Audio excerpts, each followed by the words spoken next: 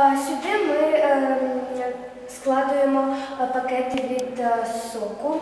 Е, Його потрібно правильно скласти, тому тут є інструкція по правилу складання. Семикласниця Анастасія Кужільна розповідає про принцип роздільного збору сміття у своїй школі.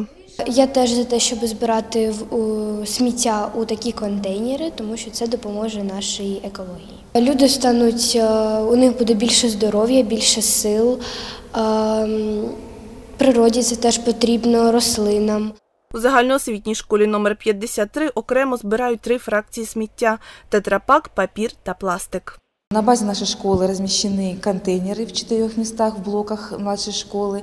На базі нашої школи розташовані контейнери у чотирьох місцях. У блоках молодшої школи сформована група із учнів самоврядування, які розповідають дітям, як правильно збирати, як правильно сортувати, куди приносити і як впроваджувати це у домашніх умовах. І дітки поступово привчаються, приносять. условиях.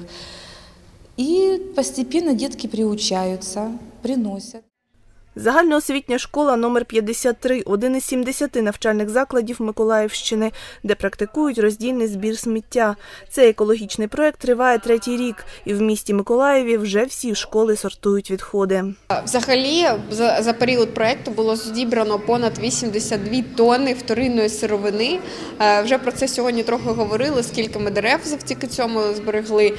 Е, І також ще одним з результатів є те, що скільки учнів ми об'єднали. Ми об'єднали 17 тисяч 500 учнів. Ми розпочали цей проект у 2016 році і мали приблизно 100 контейнерів е, всього на 4 школи.